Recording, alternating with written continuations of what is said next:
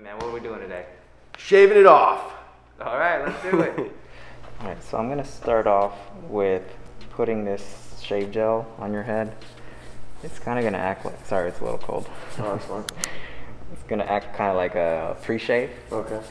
I don't like using oil because it just makes everything uh, slippery. And you know, last thing I want is to not have a good grip on the uh, the straight razor when I'm shaving. So I like to use a shave gel. Also good for when you're doing like lineups and stuff because you can uh, see what you're doing a little bit better.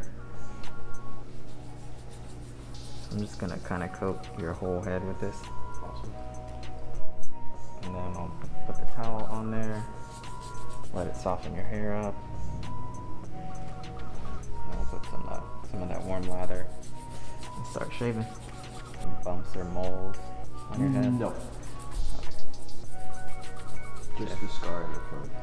Scar in the front. Right. Okay. Hit by a beer bottle. A beer bottle. Looking out for a friend. I'm the one Well. blown in of it. Literally. It's when you were living in Jersey. No, it was here. It was uh, on the north side. Oh yeah. And, well, uh, that yeah. explains it. Yeah. yeah. It was, uh, I was blindsided basically. I don't know how my mom got the blood out of my shirt, but she did it. And that was like one of my favorite shirts too. Alright, I think we're pretty good here. I'm gonna take this towel, wrap your head with it. It's gonna soften up your hair.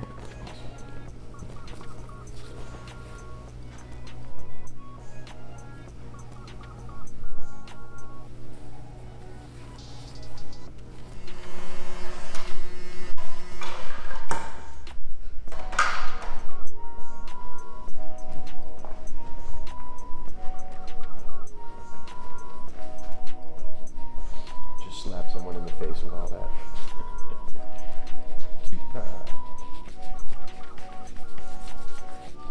So I'm gonna start in this crown area here. It. I'm gonna go in like an umbrella pattern in this direction.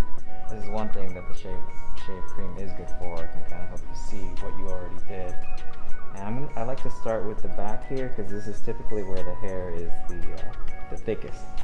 So I, I usually start here and I would kind of work my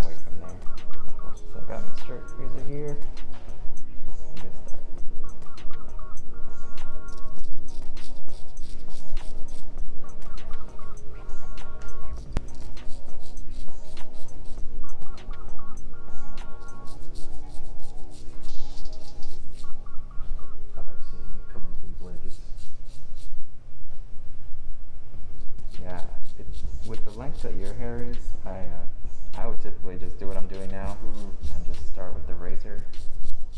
If you're new to shaving, or you have somebody who has a lot of bumps on their head, Mhm. it might be better to take it down first with the trimmers Mhm. and then go over it with the uh, with the foil shaver.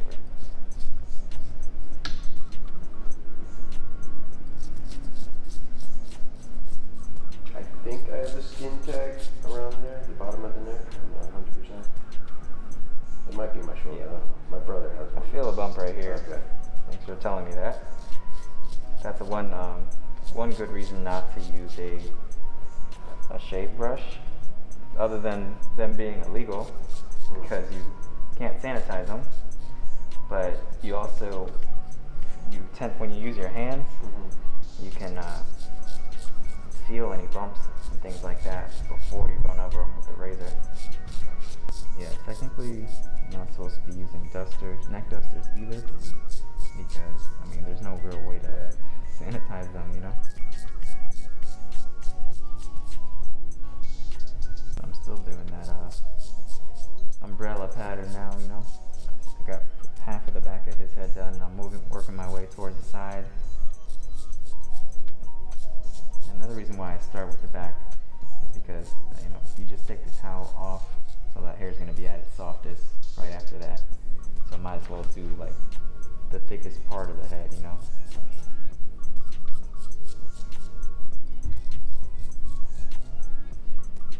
You actually have a really easy head to shave. You don't have like crazy dip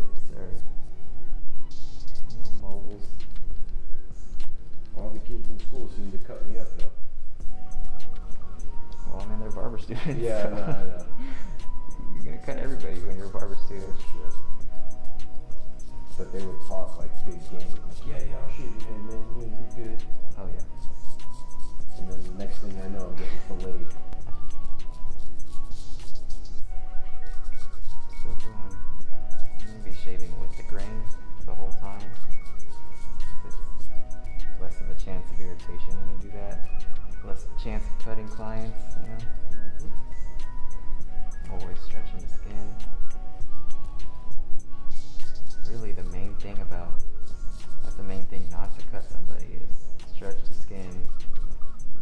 Sure the skin is lubricated and use the right angle right direction. That's pretty much it. You don't need to use a lot of pressure, you know, because Let you got a blade new do the work. Yeah, if you got a new blade in there, the blade's gonna do the work. If you find yourself having to use a lot of pressure, then you might need to uh, change your blade out. Do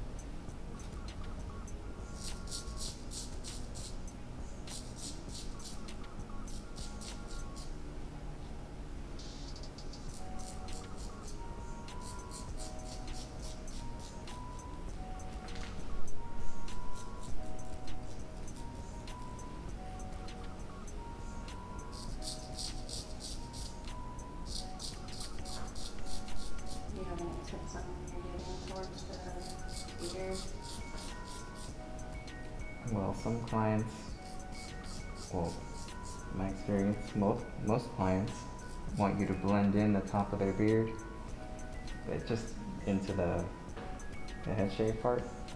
But kind of depends. How do you usually wear your beard, Brian? Uh, I usually blend it in, Blend it in. Gotcha. but I can do that after half an hour. What? I was just whispering, like, you don't have to do it. I can do it. Okay.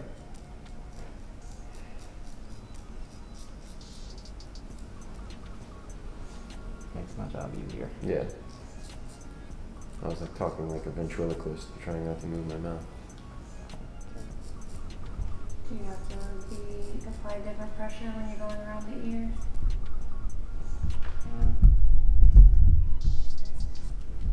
I, I try to do very little pressure when I'm around the ears because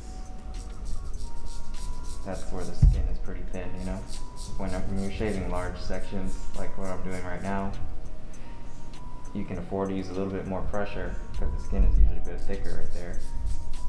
When I'm working in like sensitive areas, like around the ear, I'm using as little pressure as possible. My first time shaving with the straight razor, I almost Van Gogh'd myself. Because I was trying to straighten up the line back here, Mm-hmm. and the blade slipped when I cut that piece of skin right there. And yeah, it was bleeding like a stuck pig.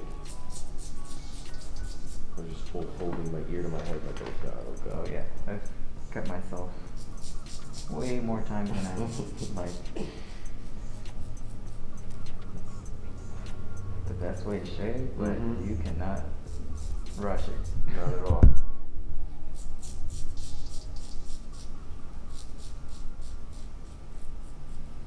Do you have any tips for people who have rolls in their head?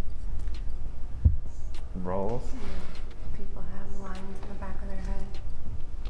Well, you can try to stretch it and get it that way, but there's you know there's certain type of people that you you not every technique is gonna work on everybody. So and he's got a really easy head to shave, but you know in cases where you have you know more moles and things like that or rolls, you wanna probably go over it with the foil shaver first just to minimize the chances of cutting them. If you start shaving your beard early, there's that other one where it's like if you shave it, then it might not grow back. Um, I mean, I, I think I've heard that, but do you, I mean, do you think that's true? I mean, I in high school, I used to have them shave off my widow's peak, and literally now my widow's peak is not growing. Oh. But then neither does the rest of your hair. Yeah, I know. That's so weird. Foil shaver to uh, take the hair down even more. Because when we shaved your head, we did it with the, uh, well, with the grain. And uh, you can shave against the grain, but I prefer to use the, uh, the foil shaver to take it down more. That's just less of a chance of irritation in cutting somebody when you use the, the foil shaver.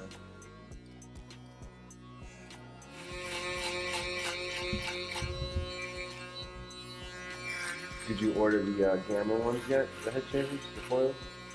No, not yet. Not really necessary. These, these are working pretty well, but still. The clippers were a little bit more necessary, I Yeah. think, because the Babyliss ones suck. Ethan was telling me about the um, the alphas, that they're kind of similar to the um, Magic Clip. Um, yeah, I think so. I think the alphas are they're basically magic clips with a clip over. But I didn't feel like there was anything special about them. You know, with the gamma, with the Mhm. ergos, like the whole it's a whole new motor. You know, That's the magnetic yeah, one. got the magnetic motor. So maybe if Gamma's watching this, they'll send us some free stuff. They can Yeah. check it out. I would like one Gamma. Gamma, please. Help a small channel out. Yeah. No, I really like those the ergos. They, um, so far my favorite clipper of 2020. That's a pretty bold statement. Because I see you use the Andis a lot. I've used almost all the clippers, cordless clippers that have Yeah. come out this year and in the past few years, and so far, the, the ergo is my hands down my favorite.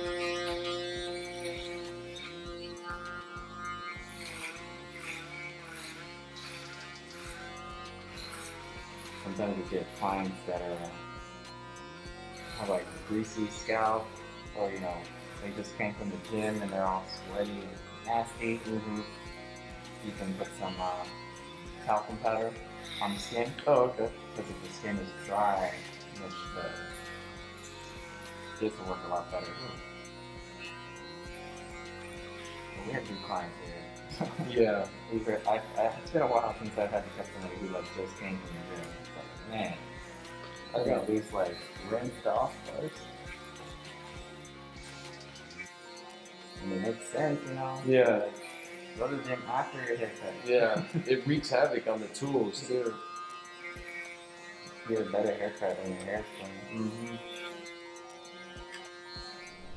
Just putting a little bit of aftershave on there. Let's uh, close up those pores. Your wife said they smell nice when you walk through the door tonight. Right? How's everything look?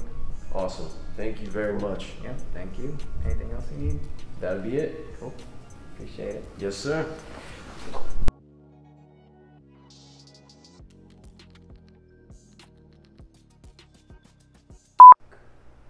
What's up, man? I'm Alex. What are we doing today? Head shave. Alright, let's do it. What's up, Alex? Damn.